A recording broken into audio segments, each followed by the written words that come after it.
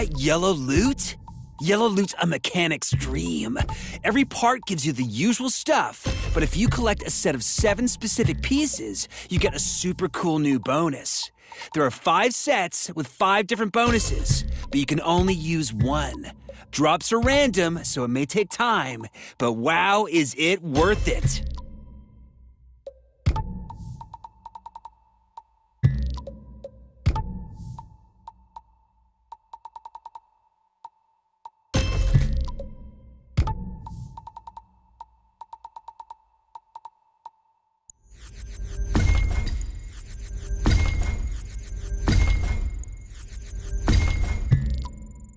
All that stuff you just scrapped, it just became spare parts.